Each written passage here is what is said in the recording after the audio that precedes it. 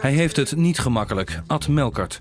Volgend jaar mei zijn er verkiezingen en dan moet de Partij van de Arbeid het doen zonder Wim Kok. alles eh, zorgvuldig op een rij heb staan. Verstandiger om eh, mij niet beschikbaar te stellen voor het lijsttrekkerschap van eh, mijn partij. Ik ben bereid kandidaat lijsttrekker van de Partij van de Arbeid te zijn. Als nieuwe lijsttrekker moet Melkert het verlies aan stemmen zo klein mogelijk houden. Maar er is een probleem. Hij is niet populair. De kiezer houdt niet van hem. Want Ad Melkert is kil. Ad Melkert is arrogant. Om van dat imago af te komen probeert hij steeds vaker zijn menselijke kant te tonen. Zoals hier op werkbezoek in een verpleeghuis.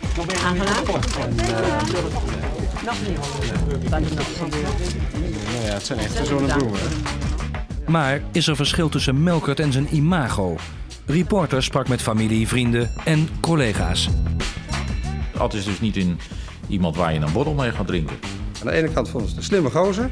En aan de andere kant hadden ze zoiets van, nou, hij is wel erg ambitieus. Ik vind eigenlijk Melkert een mens met een masker. Ja, met Ad. Hij kan het even?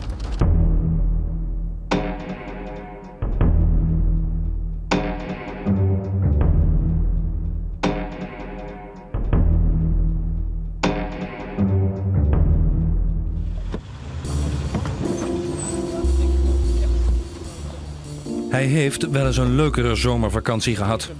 De kroonprins van Kok struikelt deze zomer bijna over de ESF-affaire. Als minister van Sociale Zaken zou hij in 1994 hebben aangezet tot fraude. Met geld van het Europees Sociaal Fonds. De opvolging van Kok dreigt in gevaar te komen. Er komt een onderzoek naar de affaire door de oud-president van de Algemene Rekenkamer, Henk Koning. Diens conclusies laten aan duidelijkheid niets te wensen over. Het is zeer teleurstellend te moeten constateren dat het nog steeds mogelijk is dat overheidsinstanties dermate tekortschieten bij uitvoering van regelingen. Van fraude is geen sprake. En dus reageert Melkert zelfverzekerd. Het rapport Koning pleit hem vrij, vindt hij. Zijn reputatie is onbeschadigd. Ik denk dat eh, de feiten voor zichzelf spreken. En als de feiten aan je zijde staan, dan kun je daardoor ook niet beschadigd raken. Op die maandag zelf bij die persconferentie eh, en in de media eh, optredens die op die maandag plaatsvonden, vond ik wel dat hij erg veel de neiging had om een beetje de straat schoon te vegen en te zeggen van nou ja, er kan mij dus niks verweten worden, et cetera. Om in augustus of september... Is Melkert te voorbarig geweest? Feit is dat Koning in zijn rapport schrijft dat het ministerie van Sociale Zaken onder Melkert de Europese subsidies slordig heeft uitgevoerd. Dat de problemen langdurig zijn onderschat en dat het ministerie weinig constructief heeft gezocht naar een oplossing. En daarmee is Melkert voorlopig nog niet van de affaire af. Want de Tweede Kamer wil een eigen onderzoek. En dat is slecht nieuws voor een man die zijn hele leven al streeft naar één doel: de politieke top.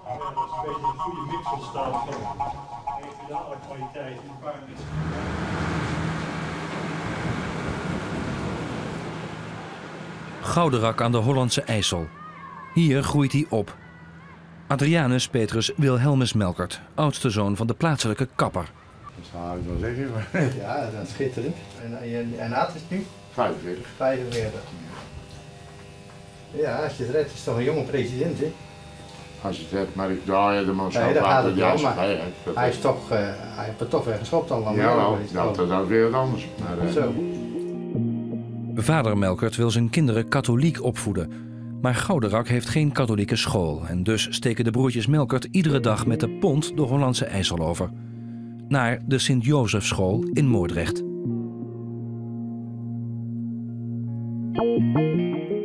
Het zwaaiende jongetje op deze amateurbeelden is Hans, de jongere broer van Ad Melkert. Zijn lerares kan zich die eerste schooldag van de jonge Ad nog goed herinneren. Op een gegeven moment ging de deur open, een half uurtje nadat alle kinderen binnen waren. Ik heb hier een jongetje en die kan wat zingen. En die, die kwam heel moedig naar voren, dat was een heel klein ventje. En ik stap naar voren. En die gaat op een bankje staan, want toen hadden we nog een bankje om bij het bord te kunnen. En die zei, ik ben Adje, Adje van de Kapper. En dan het hele lied, dan ben ik verder gereden. Maar alle kinderen stonden verbaasd natuurlijk. Want nou, zoiets had het nog nooit beleefd. Een jongen die voor het eerst op school kwam van Goudrak. En dan zomaar gaan zingen. Nou, dat, dat vond dus wel iets... Dat ben ik ook nooit vergeten, echt niet. Was hij populair binnen de klas? Nou, nee, dat geloof ik nog niet direct. Nee. nee, dan moet je andere capaciteiten hebben. Hè? Dan moet je heel goed wezen in sport.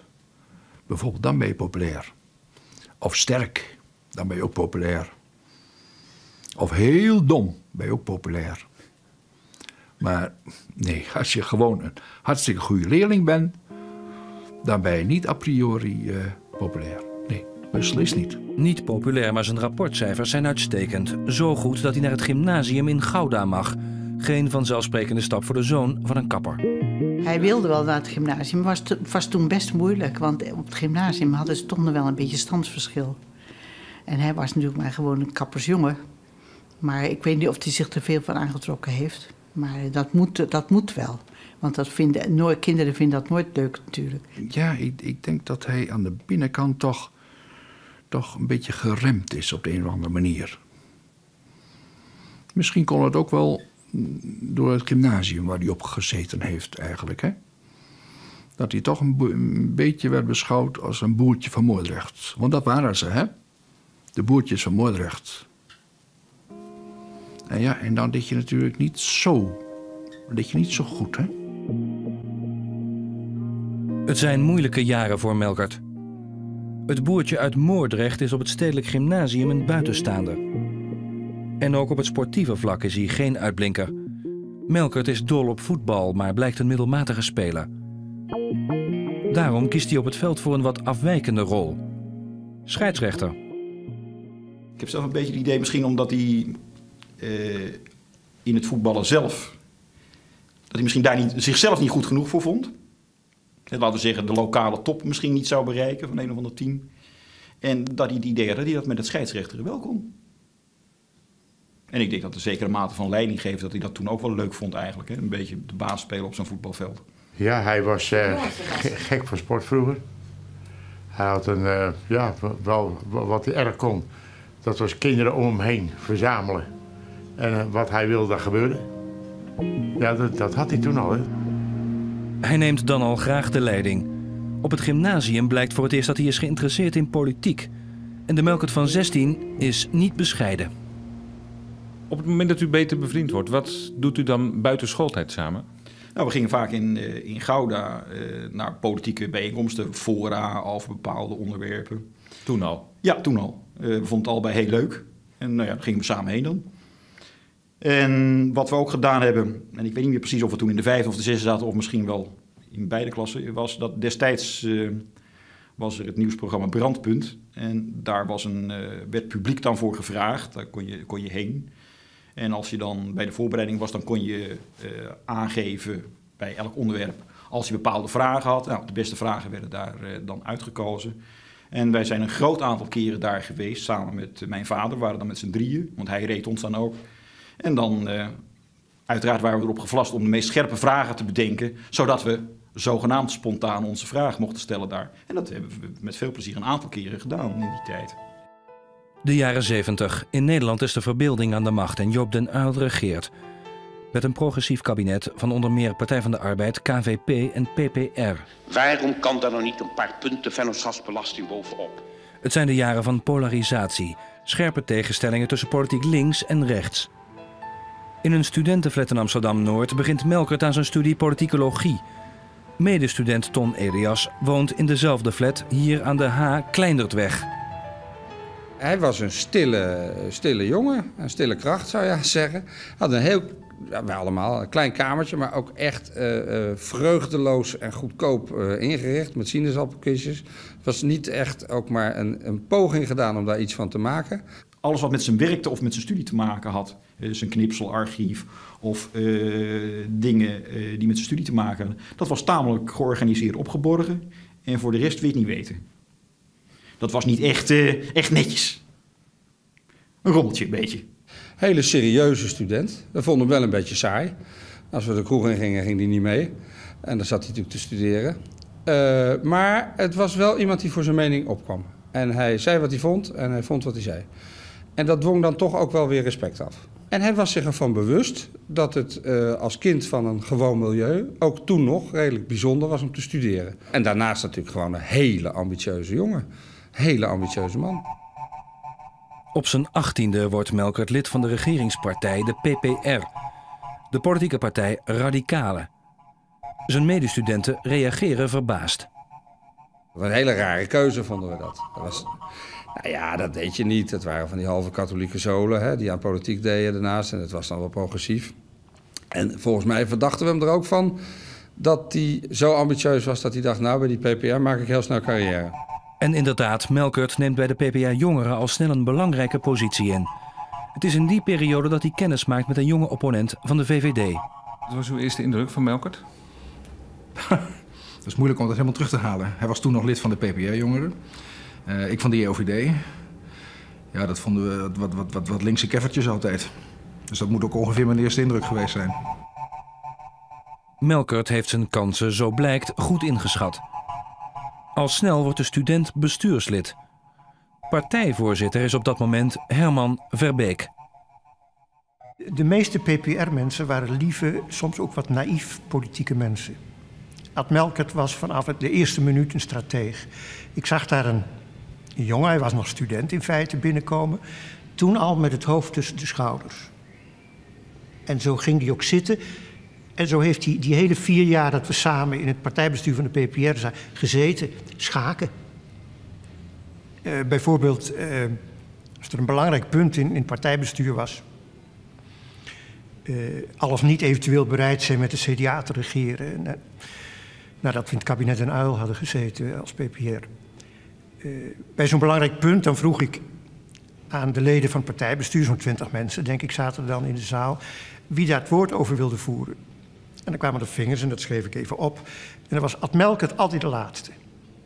Waarom? Dan kon hij eerst de 19 anderen horen. Want hij zou nooit bij de verliezers gaan zitten. Hij koos ook heel bewust waar hij zat aan tafel. Waar dan? Dicht bij de voorzitter. Dus hij wist dat als hij het woord vroeg, dan had hij ook onmiddellijk de aandacht. We liepen ook daarna, het was in Amsterdam meestal, later ook in Utrecht, samen op naar het station, hoewel hij in Amsterdam woonde. En ik had ook vaak het gevoel, kijk, hij moet natuurlijk dicht bij de voorzitter staan. Dat maakt zijn eigen positie ook het sterkst. Dus dan liep hij met me op, uh, hoewel hij eigenlijk uh, helemaal niet naar de trein hoefde. Je kon zien, dit is iemand die heeft zich voorgenomen, ik wil in de politiek iets gaan bereiken. En dat was de PPR aanvankelijk, maar uiteindelijk niet. Dat Melkert een eigen agenda heeft, blijkt wanneer hij pleit voor een koerswijziging. De partij stelt zich, zo vindt hij, veel te extreem op en dat staat electoraal succes in de weg. En Melkert was van begin af aan daar heel duidelijk in.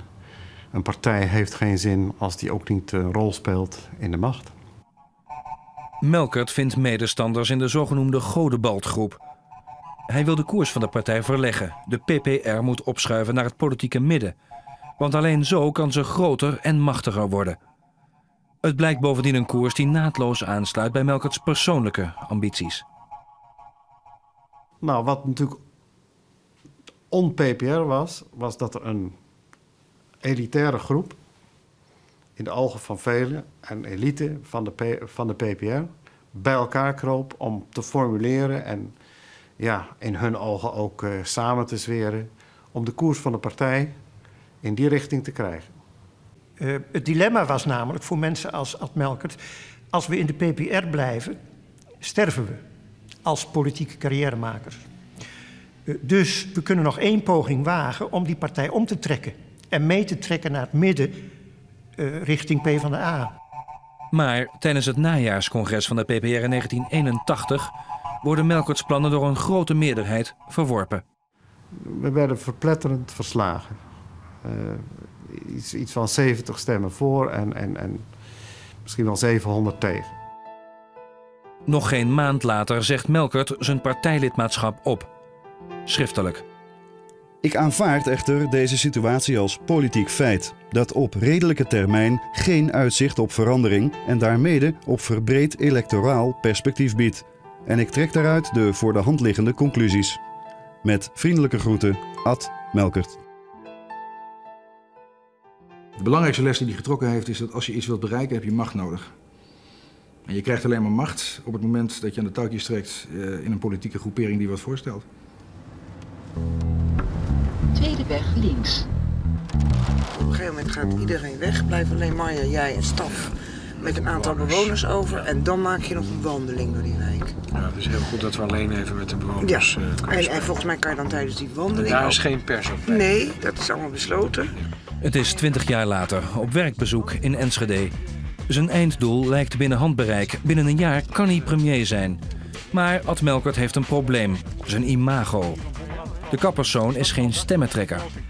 Volgens Ton Elias, tegenwoordig communicatieadviseur, weet Melkert precies wat zijn probleem is. Sluw, eh, handig, een beetje zelf ingenomen, maar knap, eh, intelligent. Eh, en zo intelligent dat hij weet dat hij dus iets aan zijn uitstraling en aan zijn image moet doen. De kiezer vindt hem koud, afstandelijk, emotieloos. Hij laat niet zo van emoties blijken. Hè? Hij heeft ze wel, maar hij laat het niet zo blijken. En dat vind ik eigenlijk jammer. Want dan zou hij een stuk beter uit de verf komen. Bedankt voor de opvang. Ja, tot tot ziens. Hem vorige week of twee weken geleden voor het eerst in een licht pak gezien.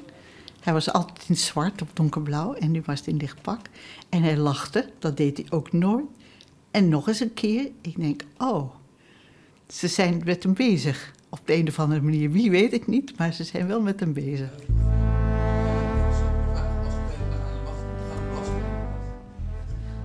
Zijn imago, het staat electoraal succes in de weg. Het campagneteam van de Partij van de Arbeid is er niet gerust op. Je ziet dat hij, dat hij echt zijn best doet om eh, ouder, wijzer, rustiger en minder zelfingenomen over te komen. Dat zie je. En daar wordt aan gesleuteld. Goedemorgen. Welkom. Melkert profileert zich als betrokken staatsman met oog voor problemen.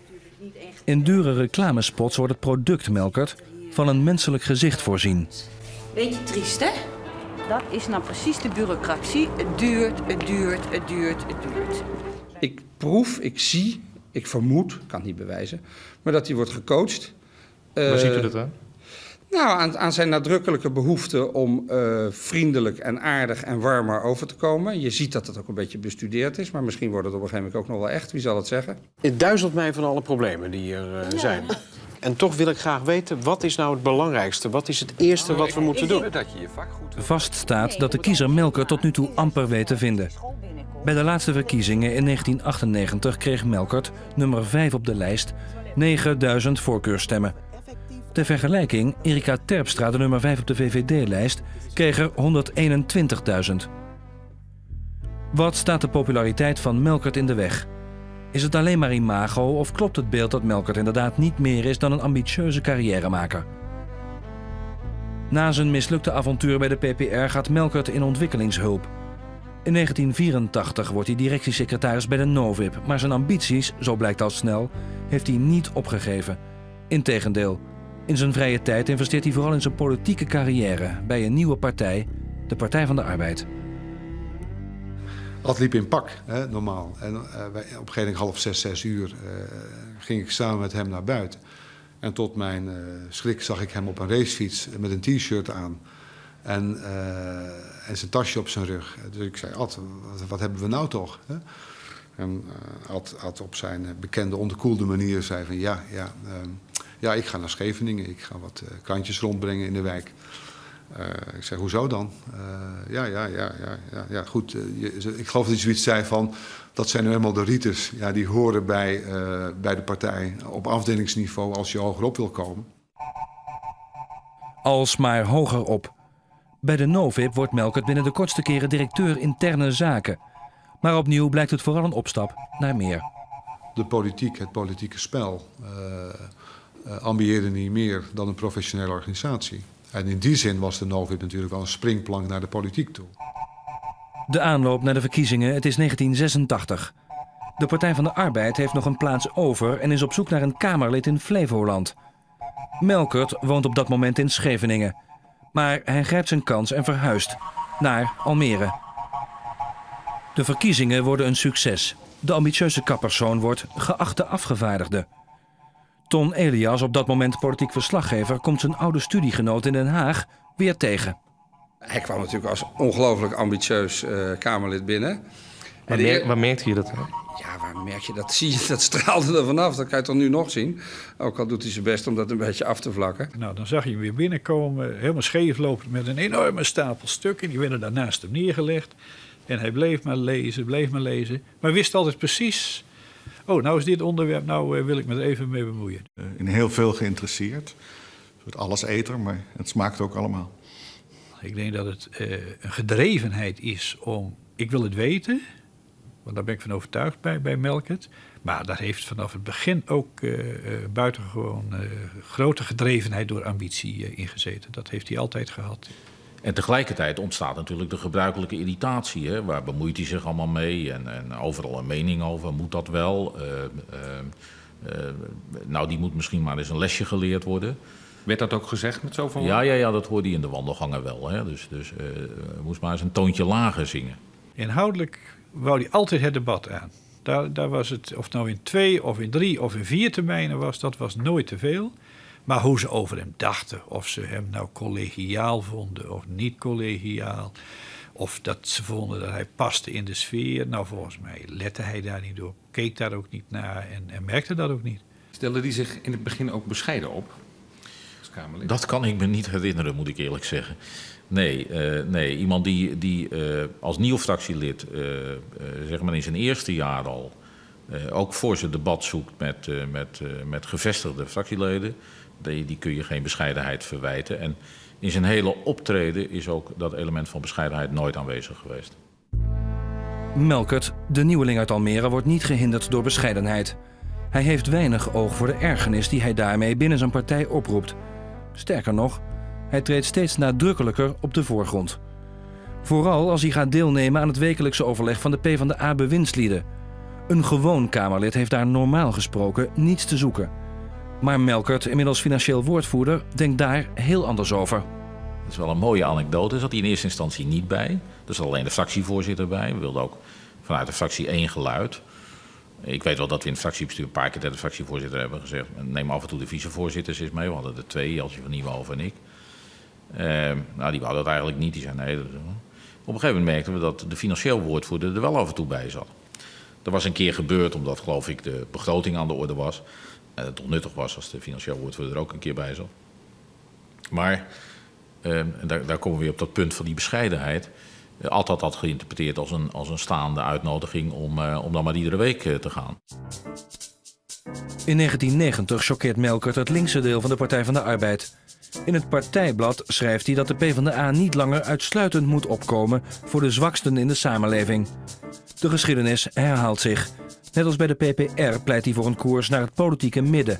Want al die linkse standpunten staan electoraal succes en zijn eigen politieke carrière alleen maar in de weg.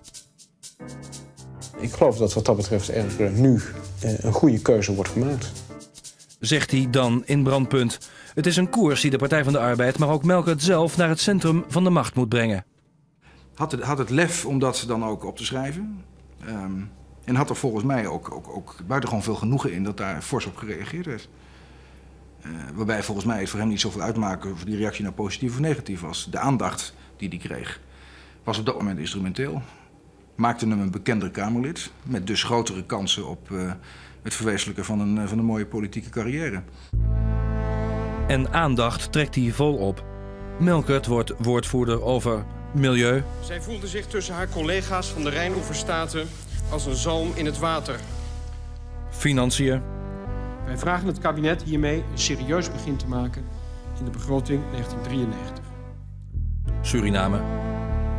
In Paramaribo in feite een min of meer verhulde machtsgreep plaatsgevonden.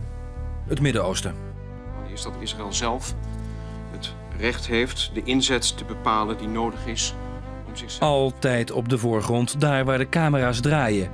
Het levert hem de bijnaam woordvoerder Algemene Zaken op. Als je eenmaal in die Kamer zit, is dat natuurlijk punt twee. Hoe zorg ik ervoor dat de buitenwereld ook merkt dat ik in die Tweede Kamer zit? Als die kiezers na vier jaar zeggen van... Uh, gut, ik heb jou daar nooit gezien, dan is het ook snel afgelopen. Nou, dat had hij scherp in de gaten. En had ook in de gaten dat hij dus moest zorgen dat hij de nodige aandacht kreeg. En dus ook de nodige aandacht veroorzaakte. Zijn aanpak werkt. Hij is niet geliefd, maar zijn imago, dat van de killerrekenaar, staat een volgende carrière stap in 1994 niet in de weg. Tot verbazing van de Haagse pers. De formateur heeft mij gevraagd of ik bereid ben minister van Sociale Zaken en Werkgelegenheid te worden. Wat Daartoe ben ik bereid. Daartoe ben ik bereid. Uh, u bent uh, nu minister van Sociale Zaken. Er gaat toch waarschijnlijk veel met die uitkeringen gebeuren. U staat bekend als technocraat. Kunt u nou al die mensen die een uitkering hebben straks menselijk en goed uitleggen waarom dingen gaan gebeuren zoals ze gaan gebeuren? Ik geloof dat het beste is dat ik me nu aan het werk zet, goed oriënteren op alles wat er ligt. En daarna ook duidelijk ga uitleggen wat wij met het kabinet willen gaan doen. En het regeerakkoord biedt daar aanknopingspunten voor. Ja, maar niet alleen het kabinet. U moet ook praten met de mensen in het land die straks de tol moeten betalen. Denkt u dat u die toon op kunt brengen? Melkert zorgt dat de PvdA zich binnen Paars nadrukkelijk profileert. Collegiale verhoudingen vindt hij van ondergeschikt belang. Het levert hem een nieuw imagoprobleem op. Melkert is arrogant en irriteert VVD-minister Zalm. Waar denkt u dat de grens van zijn ambitie ligt? Nou, God is niet vakant, geloof ik. Ja, dat vind ik, dat vind ik, uh, dat vind ik niet eens leuk. Melkert doet wat er van hem als PvdA-minister wordt verwacht. Kern van zijn beleid, iedereen moet aan het werk. De zogenoemde Melkertbanen worden een begrip. Zijn ministerschap lijkt een succes. Maar in 1996 ontstaat er commotie rond het CTSV, dat toezicht houdt op de uitkeringen. Melkert verliest zijn staatssecretaris. Voorzitter, trek daaruit mijn consequenties en zal aan haar majesteit de koningin vragen mij ontslag te verlenen. Heeft Melkert nog iets persoonlijks tegen u gezegd toen? Ja, nou, Ad Melkert is niet iemand van veel woorden. Maar dit, heeft hem duidelijk geraakt. En dat, dat, dat liet hij ook merken. Het aftreden van Robin Linschoten. Het is het enige dieptepunt uit Melkert's loopbaan als minister. Van de ESF-affaire heeft dan nog niemand gehoord. Binnen de Partij van de Arbeid wordt Melkert steeds belangrijker. Nou, hij was iets meer partijman dan sommige mensen waren. De, je had wel eens een enkele bewindsman, die stuurde je dan een memootje... en dan kreeg je de drie per fax terug, want hij had zelf allerlei dingen bedacht. En daar zat de fractievoorzitter nooit op te wachten. Die wil dat die ideeën van zijn fractie uitgevoerd worden. En Ad was in die rol voor ons ongehoord belangrijk. Ik denk dat hij naast Wim Kok vrij snel uh, echt de tweede man werd in het kabinet... met wie wij uh, spraken, ook over andere onderwerpen dan zijn eigen portefeuille. In 1998 vertrekt fractievoorzitter Wallagen en volgt Melkert hem op. Vanaf dan onderhandelt hij over de formatie van het tweede Paarse kabinet. Dan ook blijkt dat na vier jaar Paars Gerrit Zalm nog steeds geen vriend van hem is. Zalm heeft tijdens de kabinetsformatie een keer uh, een prachtige opmerking gemaakt. Ik, ik ben, kan heel slecht tegen rook. Dus ik heb gevraagd of er tijdens de formatie niet gerookt kon worden. En dat was Zalm, die toen nog kettingroker was, was zo aardig om dat niet te doen. Dus die bedankte ik na een tijdje heel hartelijk. Ik zei fantastisch dat Gerrit uh, gestopt is met roken tijdens de formatie. Dus zei Gerrit Zalm, oh dat is puur eigenbelang. Ik denk als die Wallager ziek wordt, dan sturen ze Melkert. Bij de PvdA vinden ze de nieuwe fractievoorzitter vaak te kil, te zakelijk. Hij gaat, zo vinden ze, te instrumenteel om met collega's. Je moet gewoon het stevige debat voeren en dan moet prevaleren wat het wint op de argumenten. En daar gaat hij heel ver in.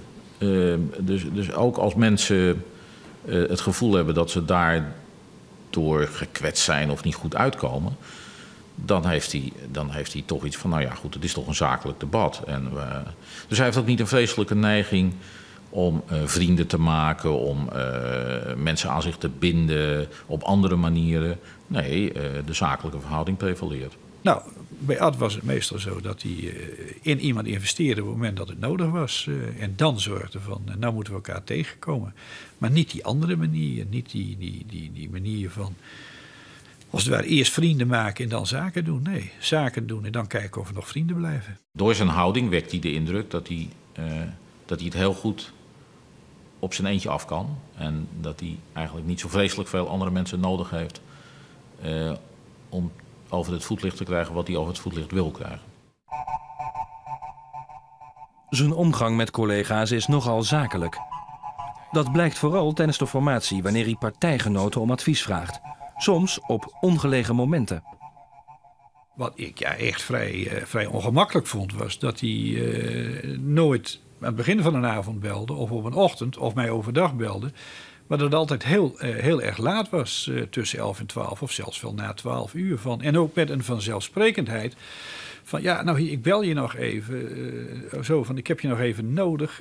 sta, nog even, sta me nog even terzijde. Geef nog even je commentaar. Maar de eerste keer dat hij u wakker belde, heeft u, eh, heeft u hem er waarschijnlijk even op aangesproken. Maar dat heeft hem er niet van weerhouden om dat regelmatig nog eens een keertje te doen. Nou, misschien dat ik toen zoiets zei van... kun je je voorstellen dat ik, eh, dat ik eigenlijk al sliep? Nou, dan krijg je dus een typisch Melkert antwoord van... ja, zeker kan ik me dat voorstellen, want misschien zou ik het ook wel willen. Zoiets was dan zijn, hè, maar daar verder... eh, maar de tweede keer niet, niet denken van... goh, die man ligt nu te slapen of zoiets. Dus als mijn vrouw, ook, ook, het was niet vaak, maar ook een keer nam mijn vrouw op. Maar die ging niet eens zeggen eh, wie ze was, maar die gaf mij al door... het zal Melkert wel zijn, dus eh, en dat was dan ook zo. Zijn zakelijke manier van optreden, zijn ambitie, zijn doelgerichtheid. Het heeft hem gebracht waar hij zijn wil, de politieke top. De kapperszoon uit Gouderak kan binnen een jaar premier zijn. Maar de eigenschappen die hem zo ver brachten keren zich nu tegen hem. En daarom moet het beeld van de kille technocraat worden gecorrigeerd. Melkert moet meer mens worden. En dus vertelt hij graag over zijn afkomst. Ik moet wel, ik moet wel eens denken aan mijn vader in de, de kapperszaak.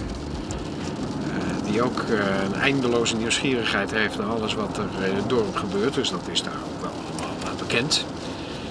En eh, misschien heb ik het op mijn manier wel een beetje, een beetje opgepakt of overgenomen. Ik heb wel niet, eh, de kapperszaak heb ik dus niet overgenomen. Dat leek me toch wel niks. Trouwens, dat vond hij zelf ook, dat ik dat niet moest doen.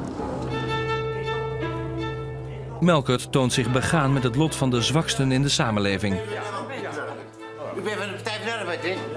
Oh, meneer Melkert. Partij van de Arbeid. En ineens blijkt de kroonprins te kunnen koken. 200 graden. Hij heeft eens een keer een interview gegeven aan de Volkskrant... waarin hij het had over coquilles Saint-Jacques toebereiden met gestoomde bietjes... omdat de kleurstellingen zo mooi waren. Ik weet niet of de doorsnee Partij van de Arbeid eh, eh, stemmer daar nou op zit te wachten. Daar is hij dan. Even laten afkoelen. Dat moet natuurlijk wel. En dan eh, straks eh, heerlijk opeten. Je kunt met schmink en met adviezen voor optredens en voor smoeltrekken kun je wat doen, maar je kunt die mens nooit veranderen. En die mens zal altijd, voor wie goed oplet, door het masker heen breken. Je zult altijd zien wat voor soort iemand dat is. En wat voor soort iemand is hij dan? Een, een kil en koud iemand. Een berekend en berekenend iemand. Melkert moet dus meer mens worden. Maar voorlopig blijkt die strategie nog niet te werken. Een enquête van twee maanden geleden laat zien dat maar 16% van de kiezers in hem de nieuwe premier ziet. Met het torentje in zicht zit nu vooral het imago, de levenslange ambitie van de kroonprins, in de weg. Na 100 meter rechts afslaan. Daarna bestemming bereikt.